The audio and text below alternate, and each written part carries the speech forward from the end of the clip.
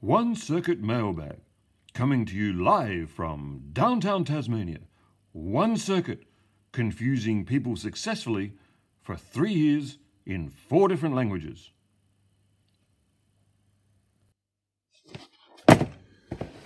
Another local one, another box, full of air. I think they must have a standard box. It's pretty strange.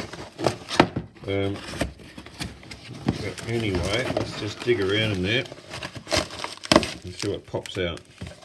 Something very light and some paperwork inside the box. Wow. Yeah. So I think this is along the lines of the Raspberry Pi Pico, but just the chip. Yes, look at that. So five of the RP2040. So it's a bit sad actually, this one. I'll zoom in and I'll tell you the sad story. Yeah, tiny. This is going to be fun if I ever get around to trying to solder that. I'm guessing that's probably going to be something like a, a hot bed or an oven or something like that. Maybe a hot air gun. Certainly not soldering. I mean, if you look at it, you know, it's going to be, yeah, that's going to be pretty tricky. So the RP2040, weirdly, is pretty cheap and pretty plentiful. Uh, I think around about $1.50 Australian from my recollection. But the specs on this guy are pretty impressive. And, you know, it's weirder still to think that currently this chip not only is available, but is cheaper than something like the ATtiny 13. And the comparison between those two uh, would be pretty embarrassing for the ATtiny 13. But it's all supply and demand. So um, I don't know why, but there is a lot of these chips around. And I was inspired by seeing online something called, I think it's called the Tiny Pico. And it looked really cool. And it looked, when I first saw it, like, for instance, the uh, Gerber files might be available and I might be able to make the same board or perhaps a variation of it. Turns out that's not true. It's a commercial project and they sell it commercially and it looks beautiful. In the meantime, I've ordered all the bits and pieces that I could see on the board as per the listing on the website. And that's not good because now I'm left with no PCB to actually solder them up to. So I'm still looking. Um, I know that, for instance, um, David Johnson Davies on his site Technoblogy has made a, a sort of a, um, I think he calls it like a limited version or a minimal version or something like that of uh, a board which uses the RP2040 Unfortunately, uh, David has a predilection for using very, very small components, and I'm pretty sure they are 0402s that he's got on his board, whereas I'd be looking at at least probably um, 0805s or preferably um, 1206s in order to uh, be able to solder it. So I'm now looking to maybe find, yeah, something like, oh, there goes my voice, I'll come back. Sorry about that interruption. The spicy cough has left a trace. Uh, but yeah, so I'm now looking to maybe find another board. So if anyone out there has any um, indication of a PCB that I can solder this up to, something fairly simple, I'm pretty sure I got most of the other components I need. But uh, yeah, looking for projects that I can uh, make using this chip.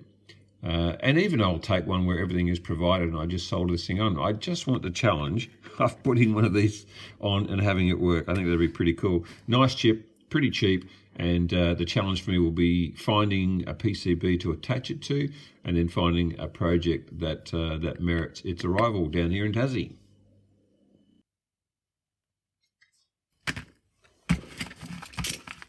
I've got so many dog parts lately, I'm almost afraid to open them. Is it more dog nonsense or electronic nonsense? It's electronic nonsense. Hip hip hooray. So we've got three things. Uh, we've got thermal resistors, NTC MF58, 3950, 5k ohm. So presumably uh, we can hook that up and test those. So let's do that. Uh, we've also got TLC072C. I don't know what that is. It might be, hmm, it might, no, I really don't know what it is. It might be temperature sensors actually, because I know that I've got some coming in, but I'm just not sure. It looks like 8 pin SOP, and these look like infrared LEDs maybe. So 5 millimeter TSAL 6100. Let's open them all up separately and uh, and see what they are. So this high-powered LED, and I'll, I'll put the specs up here, it has um, current uh, capacity of around forward current, if you like, of around 100 milliamp. Uh, the little tester here does 30, which is probably not enough. I'll just put the phone in here, or the phone camera, to see if we can pick anything up. And yeah, I'm just picking up a little bit through that. Uh, let's give it some more juice and see if we can't get it to um, to maybe have a little bit more uh, discernible light coming out of it. And by discernible, I mean you can pick it up via the phone, which is always good for things like picking out whether a remote uh, is working and so forth. So let's give it some more juice and see how we go.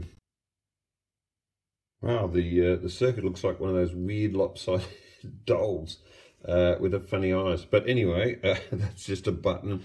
And we've got, I think, 5 volts coming in and current limited at around 90 milliamps. So uh, let's bring in the observer and we'll push the button. Yeah, so there you go. Uh, does the iPad pick up that? No, look at that. So it's just a camera on the phone. Isn't it interesting? Uh, iPad not picking up anything. Phone, just a faint glow, but I'm sure if you're um, picking up infrared, uh, then it would be uh, quite bright. Uh, not sure how far I can push those, but the idea is that uh, infrared cameras should be able to see that. So that's the next thing, to have a bit of a play with infrared cameras using these LEDs as a, uh, a light source. The little thermal resistor, NTC MF58, the 3950 B5K ohm and uh, it says 5%. And at the moment, I've got it hooked up. It's 13 degrees Celsius down here in the garage, and it says 7.7 kilo ohms. And if I just warm it up a little bit, then you can see that dropping. Uh, so I'm guessing that, assuming I'm not dead, my fingers would be around the 30 to 34 degree mark. Um, so that's picking that up pretty well. And if I give it a bit more juice, then it drops to practically nothing. How low can you go? Pretty low. So yeah, they seem to work uh, pretty well. And uh, now I'm going to be racking my brains to think of, uh, of ways of using them simply as a thermometer, I guess. I'm not sure what the characteristics are. I'll see if I can find a picture to put up here, which hopefully is linear between temperature and the uh, resistance. Uh, and then that would be pretty easy to program up so you can use them as a, a quick and dirty thermometer. So you won't have to provide them with an awful lot of juice to figure out what the temperature is. That would be nice. And what a silly sausage am I. So I thought that the TL072 might be some sort of temperature device. It isn't. It's just an op amp. It's a JFET uh, op amp and uh, I'll just put uh, some stats up here for you but um, yeah always keen to have some op amps to play with and I think this came from a recommendation I often see uh, videos on YouTube which say something like you know these are parts that you must have so it might have been Dave Jones with his Jelly Bean series it might have been uh, someone like uh, Great Scott who sometimes does you know you, you need to have this in your in your kit um, it could have been Def Pom, uh, does things like that as well. You know, this is a, a common op amp that you need to have. Uh, so I'm not sure, so I can't ascribe it to any one particular influence, but um, that's probably where it would have come from. I'm pretty sure that someone, I would have been looking online and someone said, oh yeah, you really need some of these, they're great. And I would have said, yeah, yes, I do. And I would have um, hit the um, the buy button without even thinking twice. So, uh, and now the thinking starts. Uh, how can I use them? But um, yeah, that's what they, that's what they are, and uh, let's hope we see them again soon.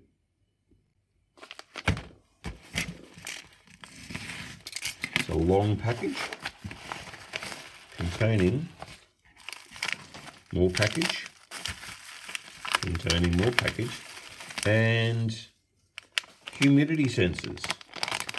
So I was uh, watching a guy who was automating his garden and uh, he was spruiking the joys of these guys.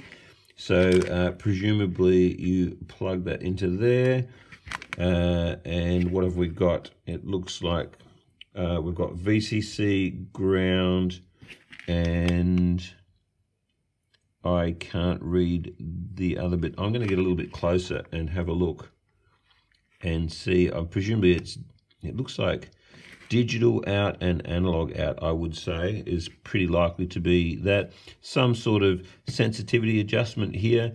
Um, I'm not sure what the, the actual IC is. Let's have a look at that. It says, um, can I see that? I can't quite make that out. It looks like, I'm not even sure that's upside down. Oh my eyes. Um, so I'm reading, it looks like G911S and 393. Oh, 393. Okay, so um, comparator, um, which makes sense and um, comparator or op amp. Yeah, not really sure, but uh, yeah, a pretty typical configuration there for analog uh, amplification anyway. Um, yeah, so I'm not sure how long these would last in soil. Um, I think after I actually pushed the buy button and had a little bit more look at into them, I think you're really only talking about uh, probably six months or so, which is not great. Uh, there are other types of sensors which last longer. I think that's a capacitance sensor. And um, these ones, uh, yeah, they uh, rely a little bit more on uh, conductance. And uh, and so and and being metal, course, and being in a pretty harsh environment uh, for electronic equipment, which is the garden, wouldn't really expect more than a season out of them, really. But more about experimentation, I guess, and ultimate uh, control and uh, measuring in the garden. But uh, yeah, pretty interesting little units, so we'll have a bit of a play with them at some stage as well. Right, let's try not to cut anything when we cut things. The irony. Aha, ZIF sockets. Right, ah yes, I do remember this project. This is uh, this is lovely. So I, did see via Twitter, uh, PCB Way. Where's my pen? Where's my pen? Although this this isn't sponsored, so I don't know what I'm doing here. But anyway, um, they did, as they often do, they tweeted about a nice little project where you can, uh, there's a shield for an Arduino, and uh, I will try and find it and put the um, some of the details up here. But the idea is that instead of just programming in one chip at a time, and I think they were showcasing an A-Tiny 85, but of course it could be the A-Tiny 13. But instead of doing one at a time, you can actually put in three chips on the Shield. Um, so I've ordered the Shield, and that was from PCBWay, although I'm um, I'm actually paying for it. It's not sponsored or anything like that. Um, but uh, looked like a lovely Shield. I'll plug it into the Arduino and program up three, uh, probably ATtiny 13s, which are which are my favourites. But that's what these guys are about. I think um, five of them because I've got five of the PCBs uh, on the way. Yeah, so that'll be an interesting project. Suitably charred and containing chippies. Nice. And the chippies are, well, it's going to be easier to take them out where it's not flaring so much, isn't it? So let's get one out. I'm probably supposed to have some sort of strap around my wrist, but you know, amateur. Uh, so we've got CD40106. And the reason I've got these is because I did a project recently, relatively recently anyway, with uh, one of these chips. It is from memory a hex Schmitt trigger inverter. And I think the project was to do with rail crossing. So I'll link that one up there. It was a bit of a fun project, actually. I enjoyed that one. But the frustrating part, which I didn't quite cover in that uh, video, but I did in blog that, um, and you should you should always click on the blog uh, if it's um, if you want the more interesting information. But in the blog, I actually fessed up to the fact that the uh, I'd had two deliveries of these things, I think like 10 chips or something like that. And one of them that I'd been using uh, wasn't working with this um, train crossing uh, circuit. And the problem was that uh, this thing was going closed circuit and uh, frying itself, um, you know, every single time. And I kept assuming that the chip was fine, um, but the circuit was bad. And in fact, it turned out that the the chip was bad and the circuit was fine. So, yeah, a couple of happy wasted hours and lesson learned. But um, this is a new pile of them. Uh, there's no other way of testing apart from throwing them into that circuit. Uh, which uh, of course I've subsequently destroyed. But let's hope that next time I have need for a, uh, a hex Schmitt trigger inverter, this one is the legit one, or at least close enough to uh, legitimate that I need as a um, very amateur hobbyist. Quite unusually, this one bills itself as aluminium capacitor surely I'm not still ordering aluminium capacitors. Yes, I am. Yes, I am. I'm ordering giant capacitors. Oh, I keep forgetting about this. The many incarnations and the stupidity of this project of replacing nickel metal hydride uh, batteries with supercapacitors. And this one here um, is 15 farads. I, at this stage, I'm pretty much sure that 15 farads isn't going to be enough, but of course you can hook them up uh, in parallel to increase the capacity. So two of these would be 30 hooked up in parallel. Just to make sure they work though, um, I'm going to hook this up in a circuit and see if we can't charge them up and then discharge them. Just charging the super cap up at the moment. So it's just approaching 2.2 volts and we can see the little orange LED starting to light up and the current is still around the 600 milliamp mark, so it hasn't dropped much at this stage, but uh, but should stop uh, should start dropping soon. And of course, if we pull this guy out, there we go. So it's happily being uh, discharging uh, the uh, the 15 farads down through that um, that LED, and that should take quite some time to uh, discharge. Uh, so yeah, I think that's a, a, pretty good get. Seem to be legit. How useful they'll be in the context of the project that I'm working on, I'm not sure. Um, I'm still, I've still got some things to iron out, but I'm not confident at this stage that the old super cap capacitor uh, replacing the nickel metal hydride is really a goer for what I want, which is a low powered overnight candle, which is charged with solar power through the um, the old QX5252. So yeah, um, chasing a holy grail, but we'll see how it goes. But at least the super caps seem to be legit, which is a good thing. That is the mailbag for the week, and uh, we'll catch you next time. See ya.